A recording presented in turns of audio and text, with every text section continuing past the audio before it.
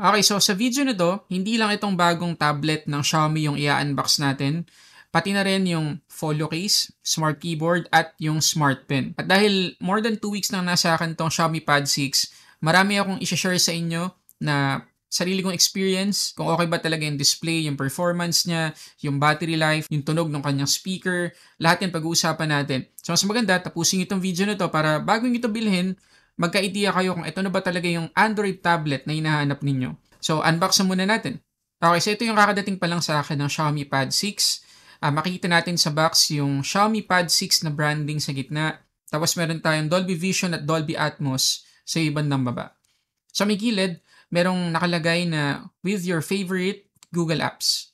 Yung Pad 6 nga pala na nandito sa atin ngayon ay Gravity Gray, yung color, at 8, 128 GB yung variant. Open na natin.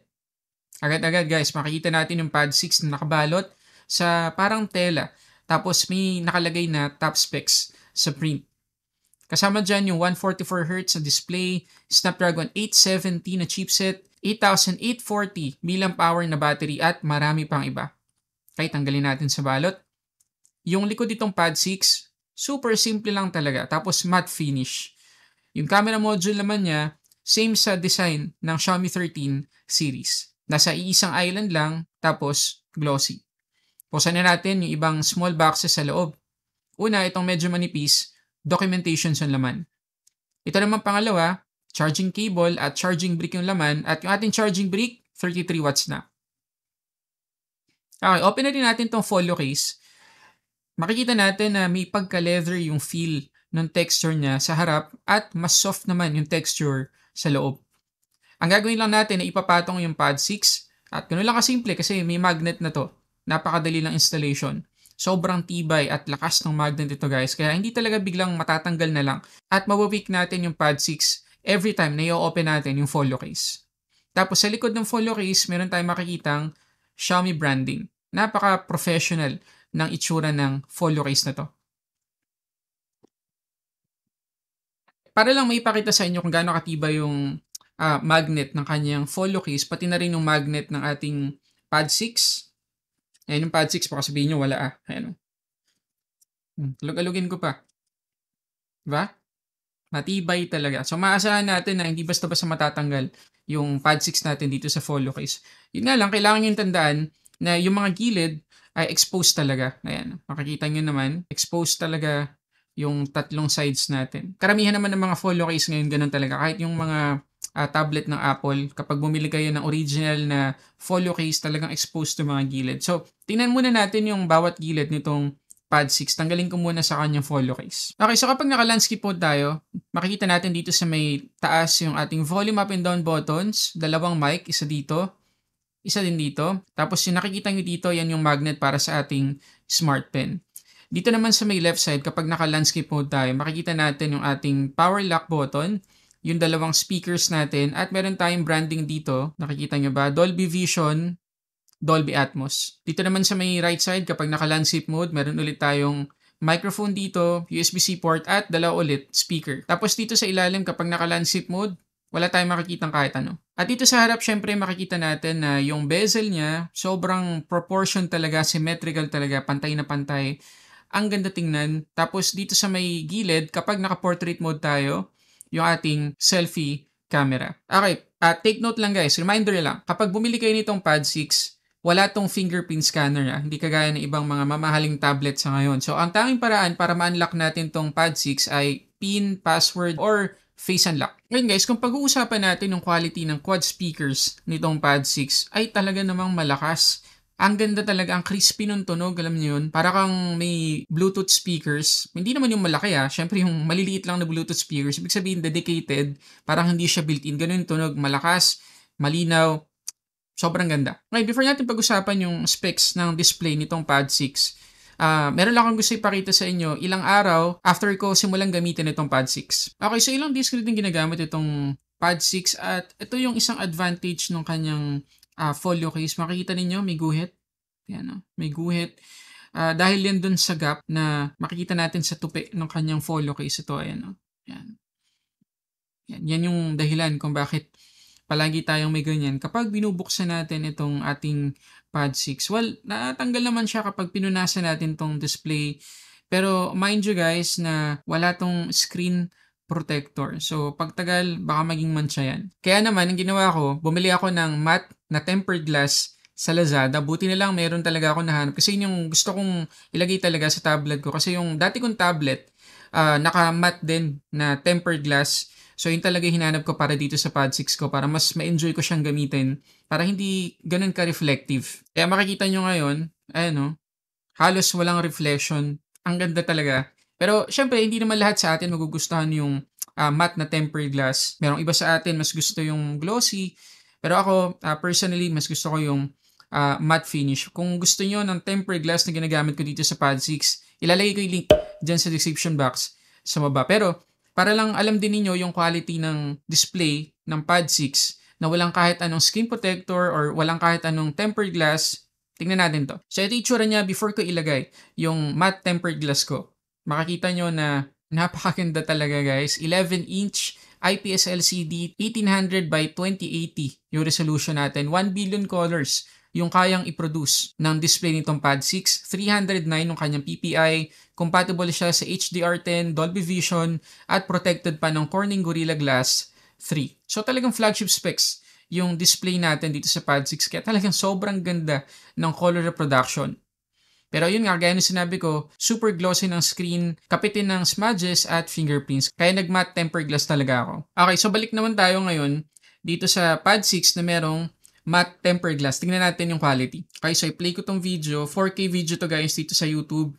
Makikita ninyo na para sa akin ha, uh, lalo na sa personal, wala akong masyadong makitang compromise pagdating sa quality. Halos same yung colors, lahat compared dun sa glossy or walang matte tempered glass. So, highly recommended ko talaga tong tempered glass na. Sobrang ganda talaga. Kita nyo naman, no? Tapos, hindi kayo may istorbo kapag nanonood kayo. Kasi nga, halos wala nang reflections, so. Napakaganda. At ito rin siguro isa sa talagang sobrang nagustuhan ko dito sa tablet na to. Napakaganda ng display. Sorry ah, paulit-ulit ako pero ang, ang galing talaga ng ginawa ng Xiaomi dito. Yun nga lang, meron tayong maliit na problema guys. Tingnan niyo yung kanya Widevine security level. Ayan oh. Kita nyo? Level 3. Pero, para lang ma-double check natin, open natin yung Netflix application. Ayan, dito sa playback specification, makikita ninyo yung max playback resolution. Standard, guys. Hindi man lang HD. Hindi ko alam ba't, bakit ganun. Okay na sana eh. Ang ganda na ng display. Bilib na bilib ako. Puring-puri pa ako eh. Tapos SD. Yung ipi-play niya sa Netflix, parang nakaka-disappoint yun. So, hindi natin may utilize yung napakagandang display nitong Xiaomi Pad 6. Bakit ganun? Sana, sana ma-fix to ng ano, sana ma-fix to ng uh, Xiaomi sa mga susunod na software update. Sayang naman. Uh, i-check nyo dun sa ibang mga magre-review ng Pad 6 kung ganun din yung naging issue sa kanila.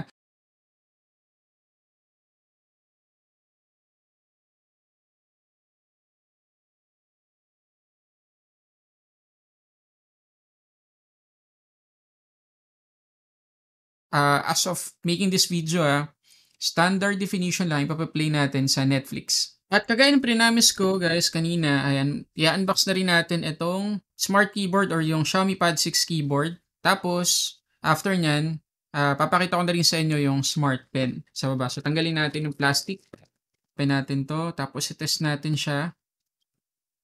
Ayan.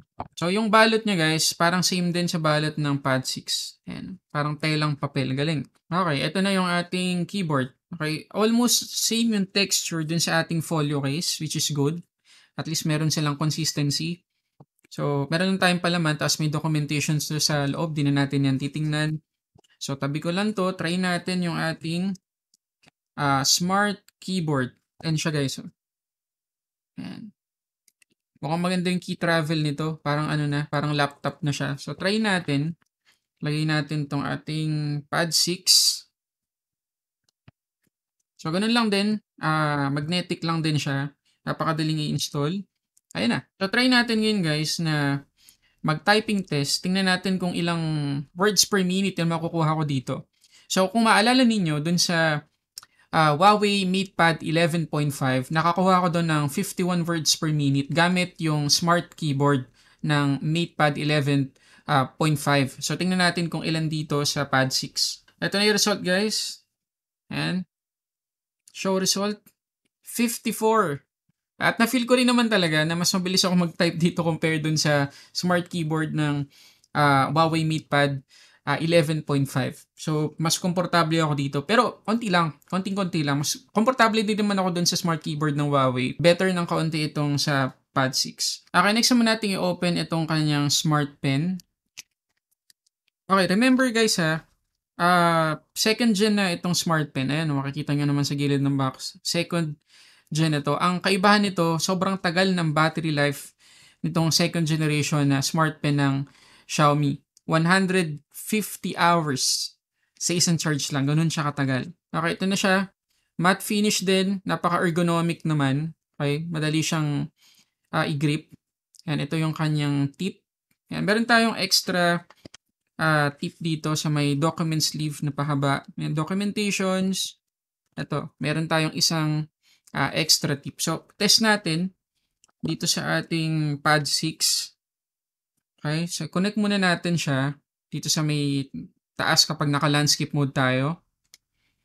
Ayan, makikita nyo, may lalabas na pop-up, tap to connect. Yan, connecting.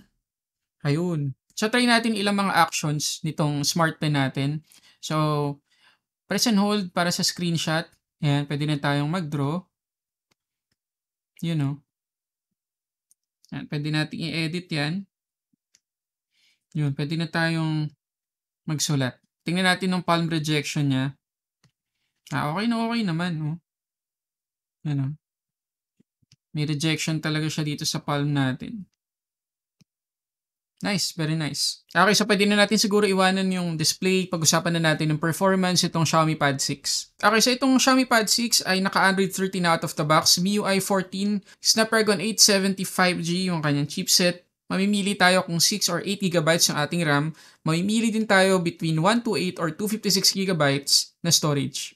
Ngayon para dun sa mga curious, yes, meron po tayong memory extension or virtual RAM up to 5 gigabytes. Pero kagaya ng paulit-ulit kong pinapaalala, huwag yung gagamitin kung hindi nyo naman kailangan. Pagdating naman sa Antutu score, ito yung pinakamataas na score na nakuha natin. So far, 785,679. Talagang not bad. Napakagandang score niyan para sa isang tablet. At kahit ano pang application, yung i-open ko dito sa Pad 6, kahit ano pang games, kayang-kaya niya. Walang stutter, walang hiccups. Sobrang smooth palagi. Okay, before tayo mag-gaming test, gusto ko lang muna ipakita yung behavior ng kanyang screen refresh rate. Okay, so makikita ninyo guys, ayan o, na pag naka-auto, nasa 120Hz siya, pero that time, na hindi natin ginagalaw yung display, ang bilis niyang bumaba to 60Hz. At madalas, bumababa pa siya to 50Hz, kaya sobrang tipid talaga sa battery. Pero baka sabihin nyo, di ba 144Hz yan? Yes, pero usually yung 144Hz ay may experience lang natin sa games. So, try natin. So, makikita nyo guys dito sa Real Racing 3, compatible na compatible sa high refresh rate gaming itong Pad 6. Naka 144Hz tayo. So, safe to say na naka 144 frames per second tayo na gameplay dito. Sobrang smooth, sobrang enjoyable mag-game dito. Same thing din sa Monoposto. Feel na feel mo na naka 144 frames per second ka na gameplay. Napaka-smooth din at lahat ng graphics kahit sobrang bigat nitong game na to, na-handle ng maayos itong Pad 6. Dito naman sa Asphalt 9, maliban sa na-generate niya lahat ng graphics, compatible pa siya sa 60 frames per second na gameplay. And again, sobrang smooth din. Ngayon, ito yung result ng ating wildlife stress test. Makikita ninyo na from 29 degrees, umabot lang tayo ng 35 degrees. So kahit sobrang tagal at sobrang bigat ng ating test, walang alarming heat na na-generate itong tablet na to. Okay, ito naman yung quality ng kanyang selfie video. 1080p 30 frames per second yung pinakasagad na resolution natin. Ganda guys, ganda ng quality. Syempre hindi ano, hindi pang 4K quality pero para sa 1080p ng isang tablet, ganda nito guys. Pero syempre dapat maganda rin yung uh, liwanag natin kapag nagbi-video call tayo para maging kagaya din dito kasi meron tayo ditong softbox, meron din isa pa dito. Ganda. Ano masasabi nyo? Comment kayo dyan sa baba.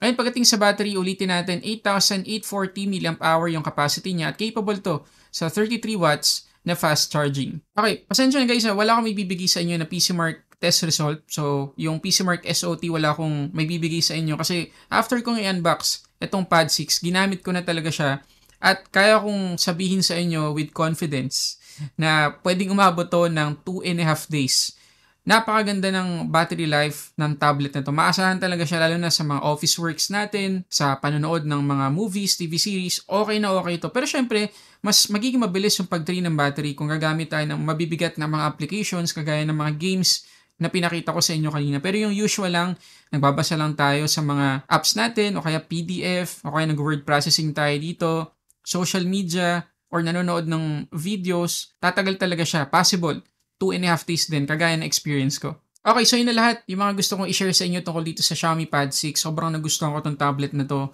Nag-enjoy talaga ako sa paggamit. Lalo na yung display, ang ganda talaga. Yun nga lang, may nakita tayong downside kanina. Uh, Widevine Security Level 3. So, standard definition lang yung play natin sa Netflix. So, sayang naman. Sana ma-fix ng Xiaomi yung issue na yan sa mga susunod na software update. Kasi sayang talaga, yung ganda ng display nito. So kung meron pa kayong tanong tungkol sa tablet na to, pwedeng i-comment dyan sa baba at if ever na gumagamit ka na ng Pad 6, pakishare naman sa amin yung experience mo. Again guys, ilalagay ko dyan sa description box sa baba yung link kung saan nyo to pwedeng mabili. So yun muna guys, maraming salamat sa panonood para sa samat sa ating unboxing reviews. This is Sulit Tech Reviews.